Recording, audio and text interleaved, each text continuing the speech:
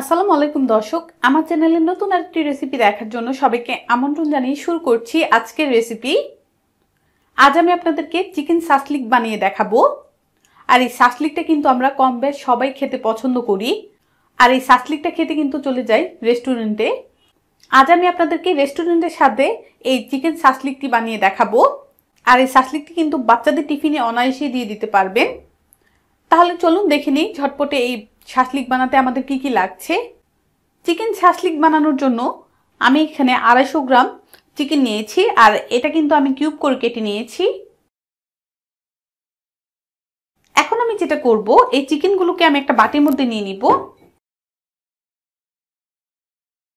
তারপর আমি দিয়ে দিচ্ছি একটা চামচ সয়া সস।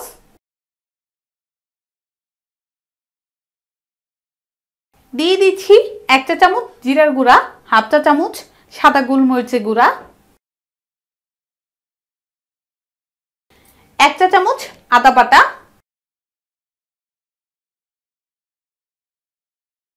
হাফ চা চামচ রসুন বাটা, এক টেবিল চামচ লাল মরিচের গুঁড়া। ঝালটা কিন্তু যার যার টেস্ট অনুযায়ী বাড়িয়ে কমিয়ে নিতে পারবেন। এক টেবিল চামচ তান্দুরি মশলা এক টেবিল চামচ পরিমাণ লেবুর রস, এক টেবিল চামচ টমেটো সস, আর দিয়ে দেবো হাফ চা চামচ লবণ।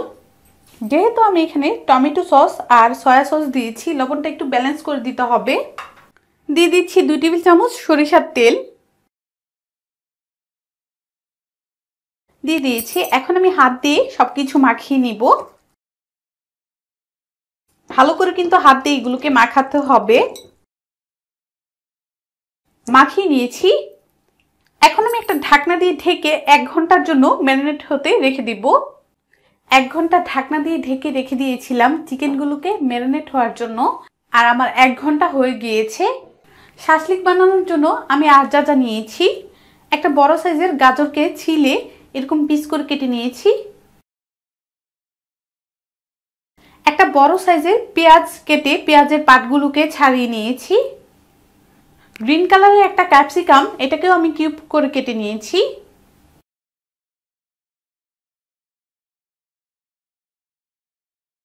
এগুলোকে এখন আমি এই পাটির মধ্যে দিয়ে দিচ্ছি। সবকিছু হাত দিয়ে আবারও মিক্স করে নিব।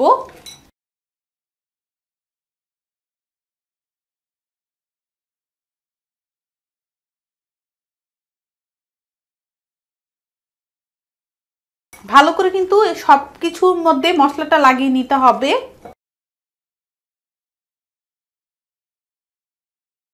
এই যে সব কিছু মিশিয়ে নিয়েছি। শাসলিক বানানোর জন্য আমি এখানে শাসলিকের পাঁচটি কাঠি নিয়েছি। আর এই কাঠিগুলোকে বিশ মিনিট আগে আমি পানির মধ্যে ভিজিয়ে রেখেছিলাম। এখন আমার যেটা করতে হবে, প্রথমে আমি একটা কাঠি নিয়ে নিব হাতে। তারপর নিয়ে নিব একটা ক্যাপসিকাম, আর এই কাঠির মধ্যে গেঁথে নিব। সাজানোটা কিন্তু যার যার পছন্দ অনুযায়ী সাজিয়ে নিতে পারবেন। তারপর একটা পেঁয়াজ গেঁথে নিয়েছি, গাজর। এখন একটা চিকেনের পিস গেঁথে নিচ্ছি। আবারও দিয়ে দিচ্ছি গাজর। ক্যাপসিকাম। পেঁয়াজ। আরেক পিস চিকেন আবার নিয়ে নিচ্ছি ক্যাপসিকাম পেঁয়াজ। গাজর। আরেকটি চিকেনের পিস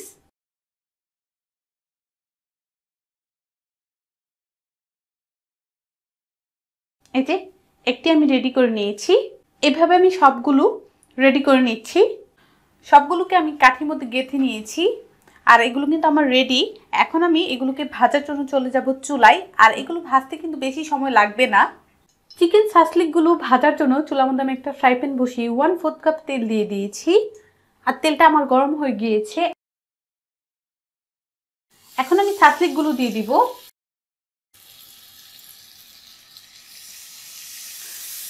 আর চুলোর আঁচটা কিন্তু আমি মিডিয়ামে রাখব। চারটি আমি এখানে দিয়ে দিয়েছি। এভাবে আমি এক দুই মিনিট রেখে দিব। দুই মিনিটের মতো রেখে দিয়েছিলাম। এখন আমি এগুলোকে ঘুরিয়ে দিব। আবারও কিছুক্ষণ অপেক্ষা করব। আরও এক দুই মিনিটের মতো রেখে দিয়েছিলাম। আবারও কাঠিটা ধরে উল্টিয়ে দিব। উল্টিয়ে দিয়েছি। আর বাটির মধ্যে যে এক্সট্রা মশলাটা ছিল এই শাসলিকের মধ্যে আমি একটা ব্রাশ দিয়ে লাগিয়ে দিচ্ছি। এই শাসলিকগুলো ভাজতে গেলে কিন্তু ঢাকনা দেওয়ার কোনো প্রয়োজন পড়বে না। যেহেতু আমি মাংসটাকে আগে থেকেই ম্যারিনেট করে রেখেছি।